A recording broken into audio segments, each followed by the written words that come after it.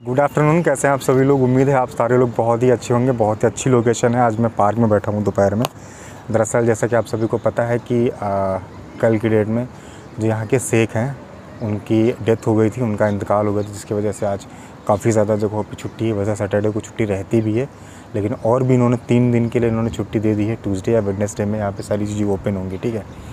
तो दरअसल कुछ भाइयों का ये सवाल था कि मेडिकल से रिलेटेड कुछ ऐसे भाई हैं जो मेडिकल से रिलेटेड सवाल करते हैं। बहुत ही इन्फॉर्मेटिव वीडियो है।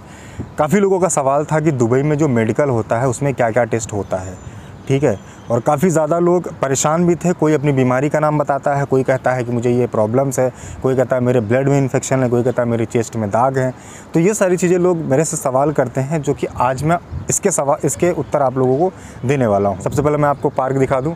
ये मैं पार्क में बैठा हूँ, पीछे बच्चे खेल रहे हैं, ठीक है? काफ़ी अच्छा व्यू है पीछे का। पीछे ही हमारा घर है, यानी जिस फ्लैट में हम रहते हैं, कर रहे थे मेडिकल की। अगर हम पूरे गल्फ़ की बात करें ना, पूरी गल्फ़ कंट्री की तो दुबई से इजी मेडिकल कहीं का भी नहीं है, ठीक है? पहले जब मैं आया था 2017 में मैं आपको अपनी बात बताऊँ तो मेरा गम का कटा हुआ था। मैंने गम का करवाया था और गम का लखनऊ में करवाया था वहाँ पे गंगा कटता मुझे याद नहीं शायद पत्रकारपुरम में था शायद कहाँ था मुझे याद नहीं है। आ, मैं मॉर्निंग में गया था वहाँ पे एक एड्रेस था उस एड्रेस पे मैं गया था निषादगंज में था शायद। फिर वहाँ से मुझे एक मेडिकल का एड्रेस मिला था। गंगा करने के बाद आपको उस मेडिकल में जाना, उस मेडिकल में जाके मैंने फाइनली टेस्ट करवा लिया था तो सारी चीज़ें ठीक आई थी। उस समय एम्प्लॉयमेंट वीज़ा पे कटा था।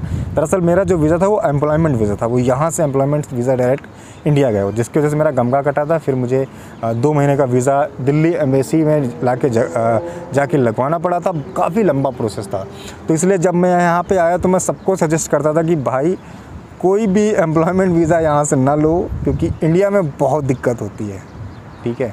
अभी का प्रोसेस क्या है एम्प्लॉयमेंट के वीज़ा का वो तो क्योंकि बहुत से लोग ना, क्योंकि अब ज़्यादा लोग एम्प्लॉयमेंट वीज़ा भी लोग आते नहीं हैं, अब विज़िट पे आते हैं, यहाँ पे जॉब सर्च करते हैं, यहीं पे वीज़ा लगवा लेते हैं। ये होता है अगर गमका में अगर आप फेल हो जाते हैं तो फिर थोड़ी सी दिक्कत आती है आपको आने में। लेकिन विज़िट वीज़ा पे आओ। विज़िट वीज़ा पे आने के बाद आप जब यहाँ पे आपको जॉब मिल जाएगी, आपका वीज़ा लगने वाला होगा, तब आपका मेडिकल होगा। और मेडिकल में इतना ईजी होता है ना, सिर्फ़ और सिर्फ़ आपका ब्लड टेस्ट होगा और चेस्ट होगा।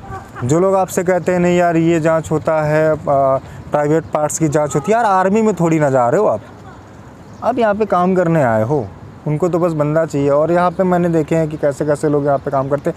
हाँ जब आपको कोई बड़ी बीमारी होगी लाइक कैंसर हो गया ब्लड कैंसर हो गया, ठीक है, सीने में जैसे से कोई होल वगैरह, सुराग वगैरह होता है, उसमें अगर कोई इन्फेक्शन है, कोई दाग है अंदर, तब आपको प्रॉब्लम्स आती है। छोटी मोटी प्रॉब्लम्स का इतना ज़्यादा पता नहीं चलता और लोग यहाँ पे उतना ध्यान भी नहीं देते। उनको चाहिए काम करने वाला बंदा, अगर आप काम करने वाले हो तो आप कर सकते हो। ऐसी कोई दिक्कत नहीं है। जो लोग भी ये वीडियो देख रहे हैं, जिन लोगों को भी ये डाउट है कि यार पता नहीं मैं दुबई जाऊँ, फेल हो जाऊँ, पास हो जाऊँ, कहीं का भी आप प्लान कर रहे हैं तो कहीं का अगर प्लान कर रहे हैं तो सबसे इजी और सबसे सरल और सबसे बढ़िया जो मेडिकल होता है ना, वो दुबई का, यानी यू का होता है। आप यहाँ पर आओगे, ऐसी कोई दिक्कत नहीं होती, आसानी से आपका मेडिकल हो जाता है और अगर आपको कोई बड़ी बीमारी नहीं है तो आपका वी एम्प्लॉयमेंट वीज़ा भी लग जाएगा, ऐसी कोई दिक्कत नहीं मैं कोशिश करूँगा कि एक वीडियो सेपरेट में बनाऊँगा, जिसमें मैं आपको बताऊँगा कौन कौन सी अगर आपको बीमारी है जिसमें आपको आप वीज़ा एम्प्लॉयमेंट नहीं लगेगा। वैसे आप इतना समझ लीजिए नॉर्मल सा चीज़ है कि अगर आपको बड़ी बीमारी कोई है कैंसर वगैरह ब्लड ब्लड कैंसर हो गया या सीने में कोई प्रॉब्लम्स हो गई, तभी आपको यहाँ पे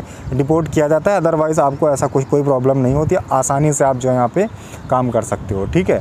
और ये, और अगर मेडिकल की बात मैंने आपको बताई थी कि यहाँ पे सिर्फ़ सीने के, सीने की जाँच होती है और आपके ब्लड की जाँच होती है। और कुछ भी जाँच नहीं होता। इससे पहले मैंने एक वीडियो डाला भी था जब मैं अपना मेडिकल टेस्ट आज के दो साल पहले तकरीबन, नहीं, डेढ़ साल पहले जब मैं गया था तो मैंने वो वीडियो डाला भी था, ठीक है? आप चाहें तो देख सकते हैं।